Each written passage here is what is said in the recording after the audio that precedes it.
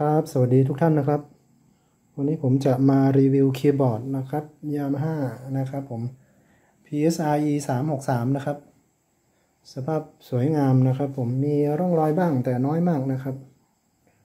ตัวเครื่องเป็นภาษาญี่ปุ่นนะครับ หน้าจอเป็นภาษาอังกฤษนะครับ ตัวเครื่องนี้ติดทับให้ได้นะครับ ภาษาอังกฤษติดทับให้นะครับ หรือจะเอาภาษาไทยก็ได้นะครับครับผม